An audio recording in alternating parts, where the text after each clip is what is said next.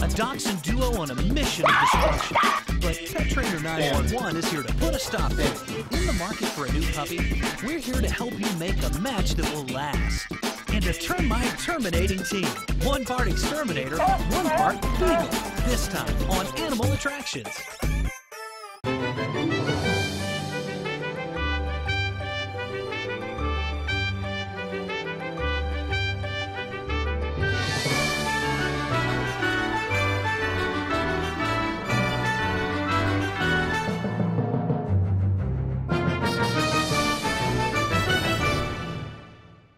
Hi, I'm Megan Blake. Welcome to Animal Attractions, the show dedicated to the deep affection people have for their pets. And I'm Alex Boylan, and this here is Zulu. Today, you're in for a treat as we're going to meet a highly specialized man and dog team whose mission is saving homes. Also, if your pet just can't seem to stop scratching, our pet vet, Jenna Kastner's here, and she'll help you get to the bottom of it.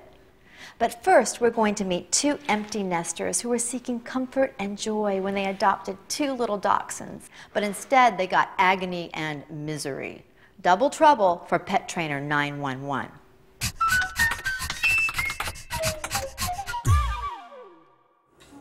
Mark and Iris Kramer got two dachshunds, one for him and one for her. Because little dogs should be easy to manage, right?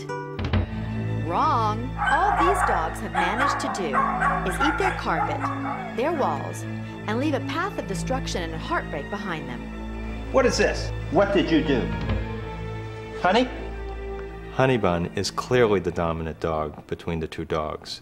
So although Bo, through the first few months that we had him, did minor puppy things, what happened was after Honeybun came into the house and she started to do mischievous things, he is a follower. So he felt it was incumbent upon him to do the same thing that she did. The mischief quickly turned into expensive damage. So it was necessary for us to actually replace things. They were partners in crime in that they created incredible, not only mischief, but destruction within the house. Uh, Bo is the one who has real watchdog tendencies. And whenever the bell rings, he just goes berserk. He runs to the door and then she follows along with him. Hello. Sorry about the dogs. No problem. And they both bark and bark. If it's if it's somebody they don't know, the barking continues until the people leave the house. So it's really difficult to have. It was very hard to have people over. They will chew anything. They chew through towels. They chew. They've taken, I don't know, four or five of Iris's bras, and they don't just chew them. They chew right through them. We found carpeting being chewed. The wooden part of the stairway was chewed through, and they started making holes in the walls. Bo, because he's a larger dog, has the ability to jump higher. So if you left any food on the table, be it cereal or steak or whatever, he would be quick to grab it like lightning.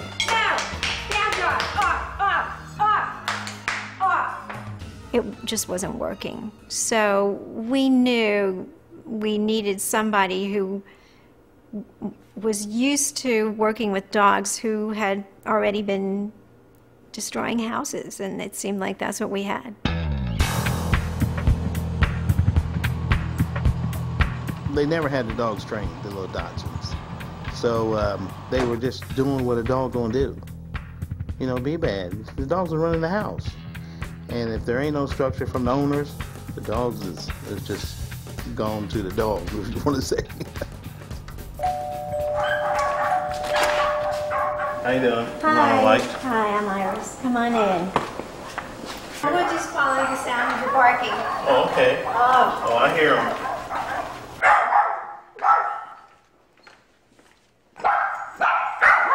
There they There they are. They already told me when I ring the doorbell, the dogs was gonna be barking and they wasn't gonna be quiet. And they were right. These are just some of the things that they do that drive us crazy. Oh, uh huh. Okay. Those little dogs pull you? Yes. And how old are they? They're about a year. Oh, and they're not housebroken. Not really. Oh, uh huh. They sleep in the bed with you? Yes, Oh, we're done with two spoiled dogs. that's right. hmm Yeah, what we're gonna do, we're gonna take the dogs for 30 days, and uh, then we're gonna train you for seven when I bring your dogs home, and when I leave, the dog leaves. And then after the seventh day, the dogs are all yours, and you're well trained. And if we can train the owners, the dogs will stay trained. It might take longer to train us. Come on. It was sad to see them go off, you know, and I think, you know, looking at their little faces, you know, thinking that we were sending them away or whatever. It was hard, but if you know if they were going to stay here and uh, you know all of us get along nicely, it was necessary. They're ready to go. They're pulling too. They. Oh. They're little dogs, but they did a lot of damage at their own their own home, so they they needed to come to boot camp to get some structure. So when I took the dogs from the, the owner's home, I knew that they wasn't going to roam around my house because they used the bathroom in their house. They're going to use it here. So I immediately tethered them down to get them comfortable with me.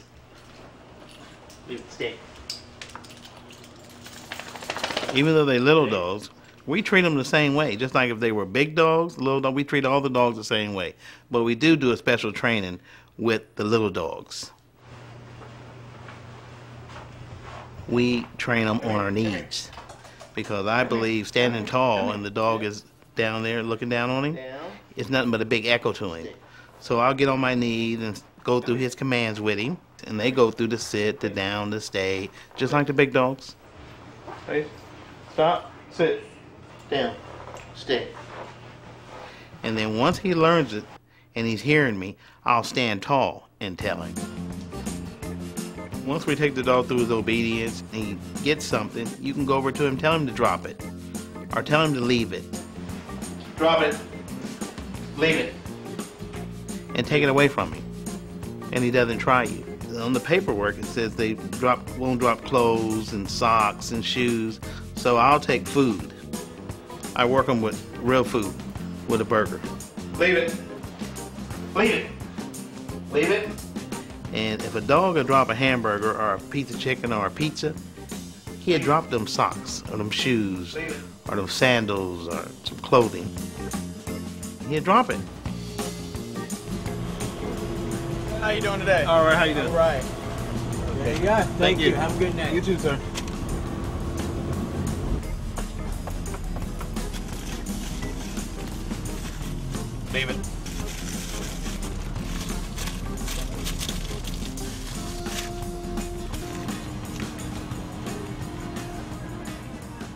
Problems were when the doorbell rings, they constantly bark. So I got a doorbell and I had somebody to push it. And the dog started barking. And I took and let him run to the door and I told him quiet. And then I'll send him back to timeout. Timeout. Timeout. Timeout. Every day I may hit the doorbell just to see can I get them to bark. And before they leave, quiet. Time out. They ain't barking anymore. Time out. I know the dogs are ready to leave boot camp when the dogs are listening to me. Because if the dogs are listening to me, they listen to the owners. And that's where the work starts, when I start working with the owners. How you doing? Here's your baby.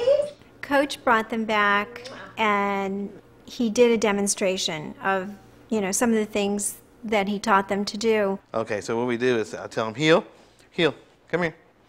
Come here, heel. Come here, heel. Place. Place. Stop, sit, down. And I think that Mark and I just kind of watched with our mouths open, wondering what happened to our dogs. Time out. Coach came and worked with us, and he corrected us. Say heel. Yeah. Start walking. So it took a lot of practice until we got the right tone of voice. And, you know, we got to, you know, pulling on their leashes and not telling them that they were good because there are certain behaviors that he says are just expected from them. Say down. Sit down. Stay. You're doing real good with the dogs. All you got to do is do it every day for 10 or 15 minutes and just be consistent. We saw that it was something we definitely had to stick to because the dogs can see if you are getting weak. Come on,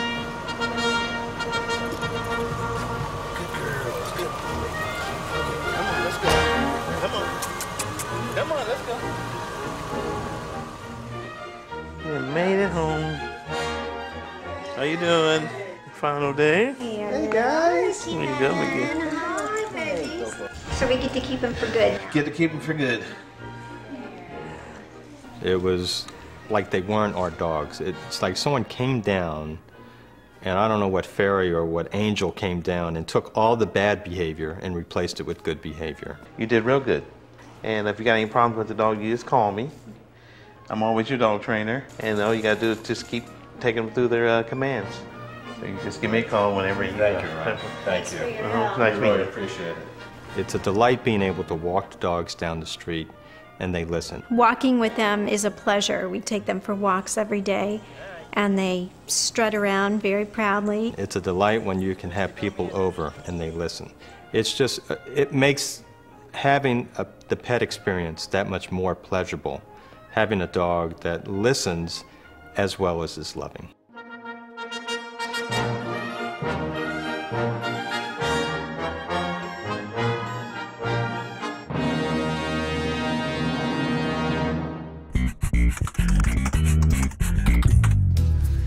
Getting a new puppy or even an adult dog can be a great experience for anyone. This is Blue. He's a cardigan corgi. A new member of the family can bring immeasurable amounts of joy into your home. But choosing the right dog for you, that's the most important thing. There are many other factors that you need to think about before bringing a new dog into your home. What's your financial situation? Do you have kids? Do you travel a lot? What's your work schedule like? These are just some of the other factors that you need to contemplate when looking for a new dog. A key consideration when buying or adopting a new dog, especially with pure breeds, is what were they bred for? Dogs are broken up into seven different groups or functions, which describe their original purpose and demeanor. A popular group is the sporting group. They are high energy, very oral, and always looking to play, run, or swim. The retriever and labs are perfect examples. So if you are a person who enjoys the outdoors, has room for a new furry friend to run free, the sporting dog may be an ideal match. Blue here is the smallest member of the herding group. Initially, the herding group was bred to work with and for man. Like border collies, Australian shepherds, and Shetland sheepdogs, they are constantly searching for a job to do. Do you think you would enjoy hours of playing fetch or frisbee? What about training a dog on an agility course? This group takes a lot of energy, as they were not meant to simply be pets. If left alone or not worked with, they can actually become agitated towards their owners. So make sure you have the time and willingness for a herding dog. Now, if a long, fragrant walk in the woods is more your speed, maybe a member of the hound group should be your next best friend. Beagles, Basset Hounds, and Dachshunds have a very high-tuned sense of smell. They were bred to hunt in groups and love being around many people at one time and are very easygoing and docile, so they make great pets for the family. They were designed to hunt for hours, even days, meaning your kids can play all day with them and they will not tire out, but your kids might. The next group is often thought of as workers. Well, because that's what they were bred to do. The working group has been guarding and rescuing people for centuries. Dobermans and Rottweilers were bred to protect families, while St. Bernards and Huskies were meant to help people in distress in frigid climates. Yet, contrary to popular belief, they can actually make great companions for everyday people. But beware, with this group, more than any other, training is crucial.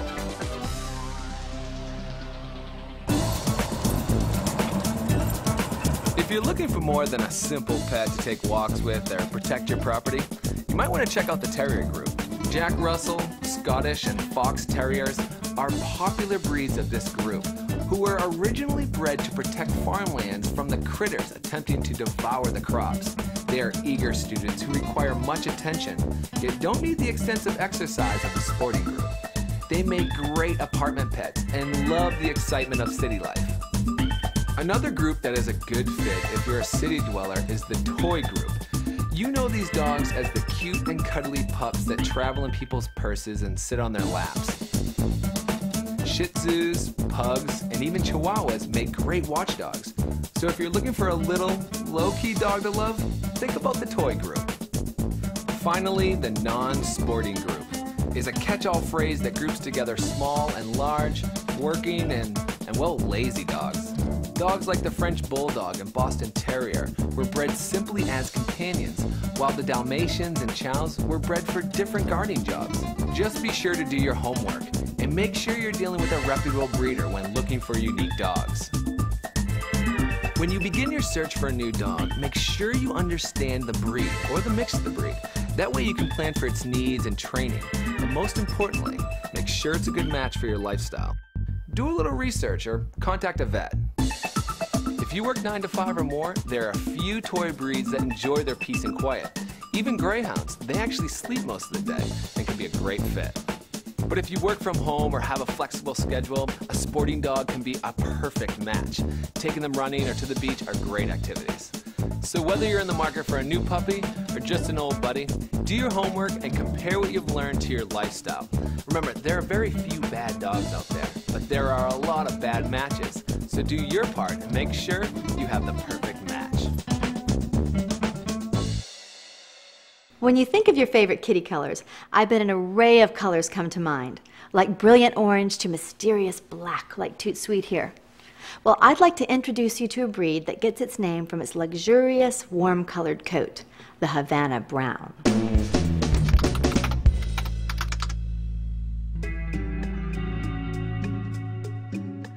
Brown doesn't always have to mean dingy and dull, particularly in the case of the Havana Brown, a unique breed of cat with a sleek, mink like coat and a dark reddish brown. Though bred specifically for its color, the Havana Brown also has a personality as warm and inviting as its fur.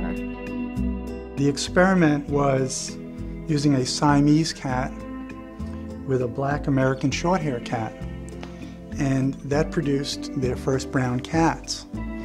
Um, then naturally, for several generations, they bred them until they could get just brown cats. Havana Browns certainly are brown, all the way to their whiskers, with no markings or variations of any kind. They have startling oval shaped eyes and a variety of vivid greens, making a dramatic contrast with the rich mahogany coat. There's nothing plain about this brown wrapper.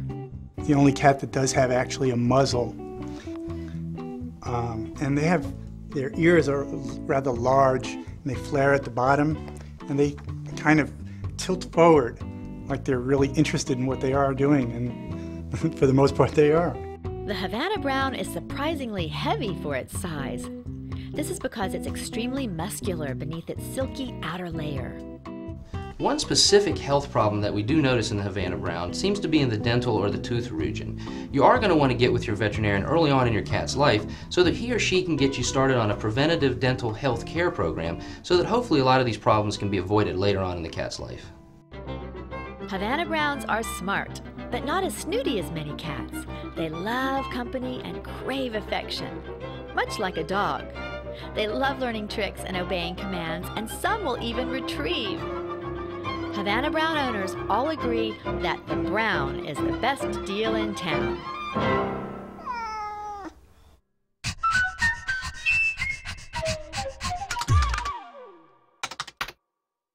Is your dog keeping you up at night or driving you crazy with all that itching and scratching? This could mean that your dog has an allergy. You may find this surprising since in people they usually have respiratory signs such as sneezing and runny eyes. But in dogs, the target organ of an allergy is their skin. Allergies are a reaction by your pet's immune system to something that the body recognizes as foreign. The three most common types of allergies are flea allergies, food allergies, or environmental allergies. Food allergies don't develop right away. My clients often comment that their dog has been on the same food for a while and wonder why now they're developing an allergy. Actually, this is typical. About 70% of dogs have been on the same food for over two years before they develop an allergy. Proteins such as beef, chicken, or wheat gluten are usually the culprit. For this reason, your veterinarian may recommend a food trial as a way to diagnose this. This way, you put them on a new protein diet, such as venison or fish, and eliminate those other proteins that were causing the problem, and you should see an improvement in their skin condition. As far as flea allergies go, one surprising thing is your dog doesn't have to be infested with fleas for them to be a problem. Just one flea bite is enough. Sometimes you don't even see the flea because the dog is so aware when they get bit that they actually eat the flea before you even see it. There are medications to help with the itching, but prevention is definitely the key. Your veterinarian will help decide what the best course of action is for this. The environment can also be a source of allergens. Dust mites, pollen, and mold are some of the most common ones that your dog can be allergic to. Blood testing or skin testing can identify the exact cause of your dog's allergy, and a specific allergy vaccine designed for your dog can be made. This can be a little bit expensive, but in the long run, it actually usually ends up saving you money because it minimizes the amount of times that you need to see your veterinarian for the itching. And one more thing, it's not uncommon for your pet to have more than one allergy. So see your vet and they'll get you on the right track.